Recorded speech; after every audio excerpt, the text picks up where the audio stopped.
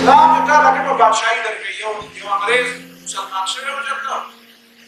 برتانیا کې دی یو سړي ته پوس کړی سړي ته پوس کړو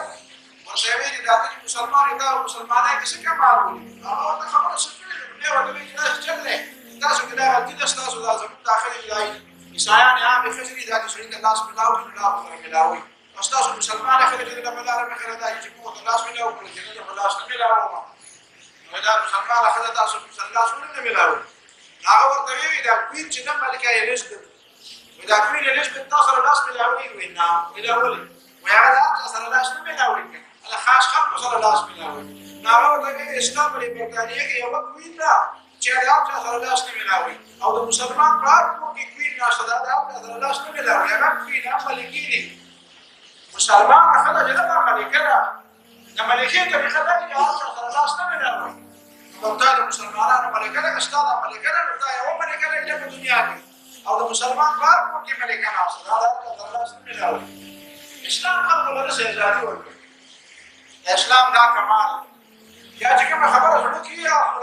خبره د مرګ پروا نه شي مرګ نشي کس ورکوي الله اکبر دی ودا چې مسلمان ګورما وي با با لیک بخشیدی پریدم خدای چې کوم وسره در راکړې وي پامې وال ورته رسول زه نرمه هاي خود بيدم او د حالتونو د پاره خو ایندن پکار دي چې انرژي پکار ده تیل پکار دي وي په نرمه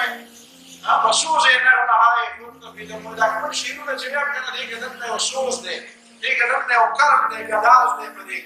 دې کدن ته وکړی دا دا کدن زما د پاره د حالتونو ذریعہ دا زما ایندن دي کې چرته په دنیا کې ګرځېدې وي مسلمانې کې مرګ ازمه بل ارزه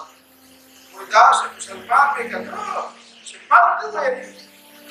دا چې مسلمان چې ګرځېدا چې د مرګ نه لري چې مرګ نه وي د مرګ پروانه سره سره په تلشي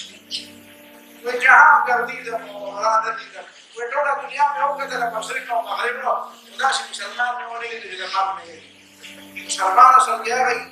και μάθει, από μάθημα σε κέρδη.